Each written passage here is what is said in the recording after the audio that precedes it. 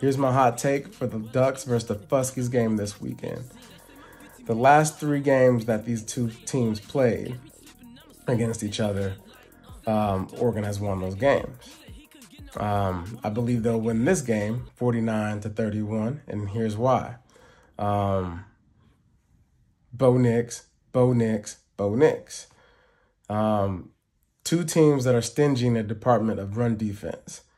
We have Bo Nix, and I think he's going to be a deciding factor because he is able to run the ball at quarterback.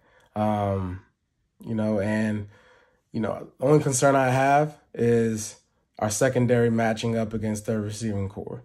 Um, but at the end of the day, our defense is going to come out blazing, making a lot of stops early and often, and our offense, because of Bo Nix, um, will be riding that wave. So